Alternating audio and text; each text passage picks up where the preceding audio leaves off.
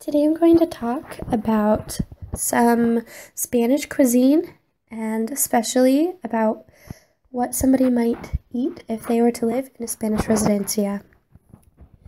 So first, this is what a typical breakfast would be for me. Um, it's a piece of toast with marmalade on it, a croissant, and some orange juice. A lot of Spaniards also drink coffee, and a lot of the times they'll have a tostada, which often has a tomato sauce on it and sometimes cheese.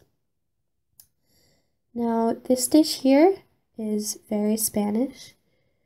It's some chicken with patatas brata, bravas, which are um, a specially prepared type of mashed potatoes with olive oil and seasoning and also an egg, which they like to eat with their lunch, as opposed to in the US where we eat with breakfast.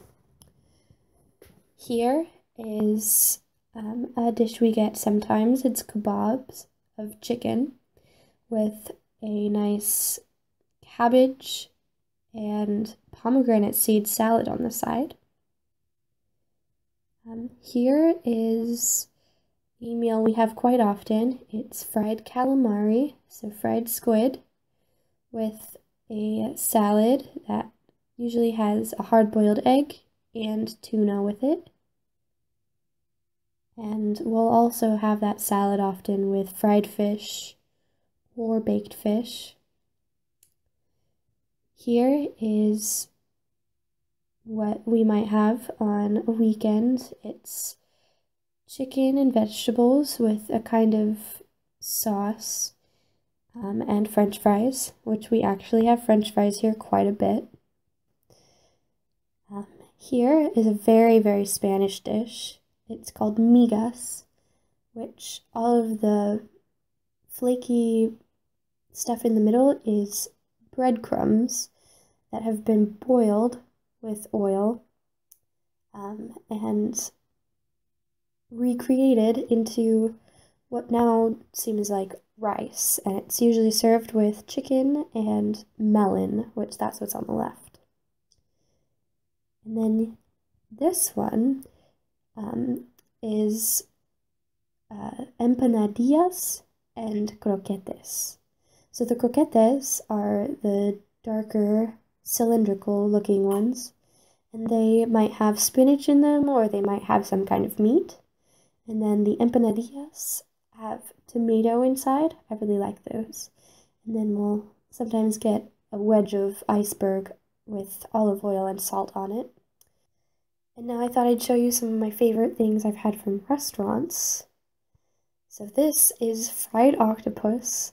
They really just fried an entire octopus full, whole, without really much preparation, it seems.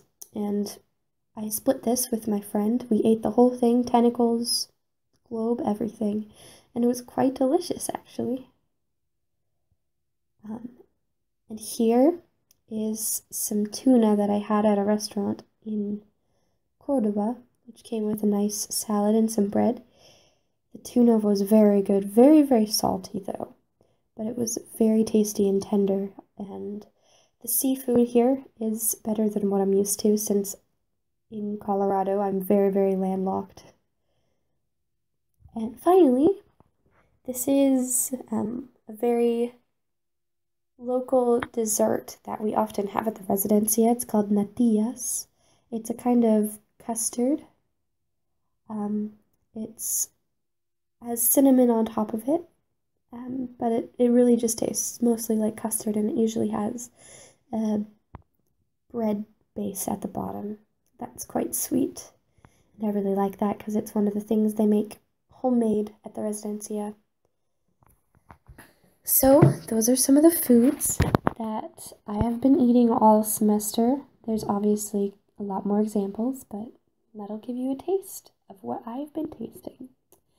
I'll see you next time.